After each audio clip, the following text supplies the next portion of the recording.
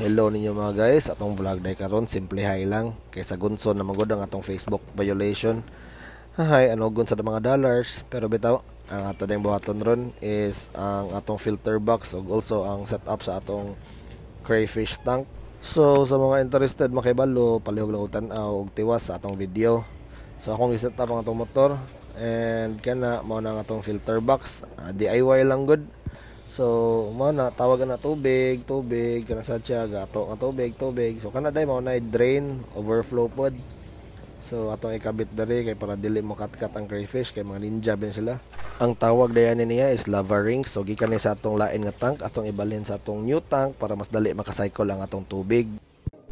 Unya na day mga bag-o na abot nga parcels, bioballs day tawag ani.